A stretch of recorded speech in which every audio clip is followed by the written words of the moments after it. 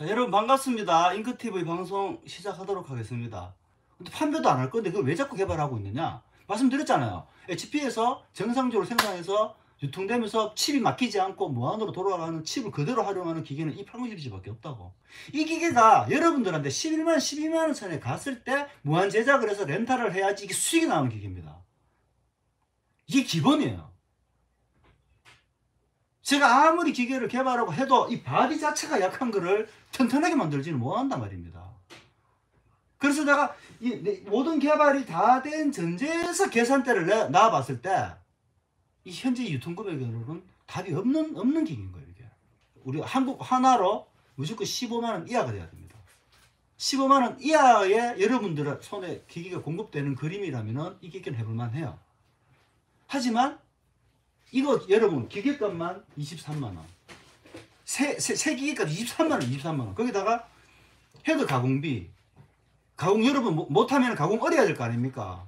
의뢰해야 하는 비용. 칩 이식해서 위로 올려야 돼요. 그 올리는 비용 다 계산하면요. 이거 26만, 27만 원 돼버려요.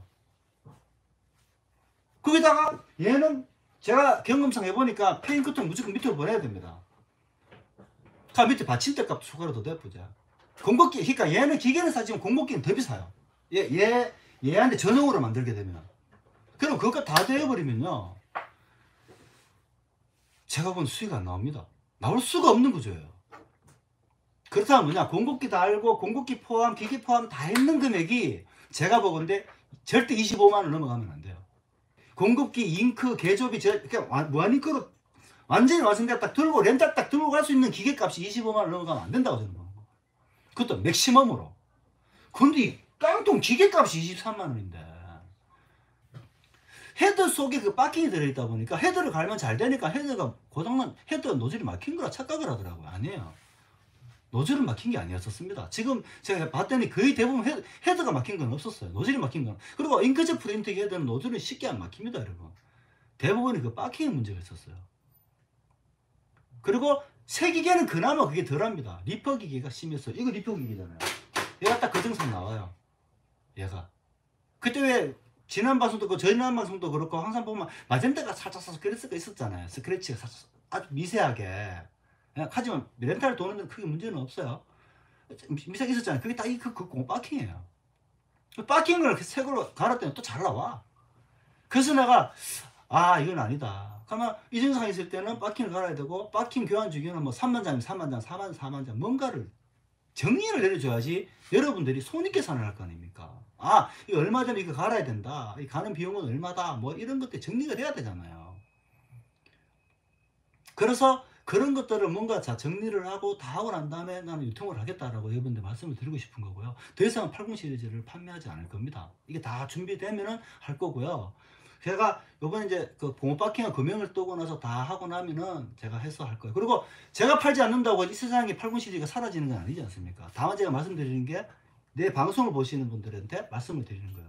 내가 팔지는 않지만 다른 곳에서 파는 것을 만약 구입해서 써보게 된다면은 쓴다면은 그 부분을 찍어보라는 겁니다. 단순히 무한 프린트기를 사는 게 아니라 이게 고장이 났을 때 이런 정상이 났을 때 수리하는 유지보수를 어떻게 하는 거에 대한 것도 이 사람들이 정리가 되어서 일러 주 일러 주냐는 거지. 그냥 안 되면 어쩌라는 거에 대한 대책은 있고 파는 건지 그 정도는 찝어보고 80 시리즈를 하시라는 거고요. 아이블록에서는 이- 그걸 다 준비되기 전에는 팔지 않겠다라는 걸 지금 말씀을 드리는 겁니다. 이 80 시리즈가 유통을 가능하게 한 금액이 아니라는 거.